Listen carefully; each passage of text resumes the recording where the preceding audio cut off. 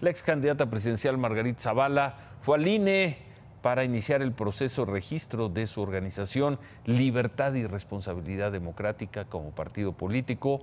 El partido político, si consigue el registro, se va a llamar México Libre.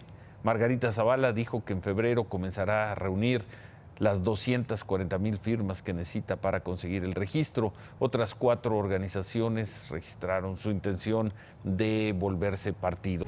Imagen Noticias con Ciro Gómez Leiva, lunes a viernes 10.30 pm. Participa en Imagen Televisión.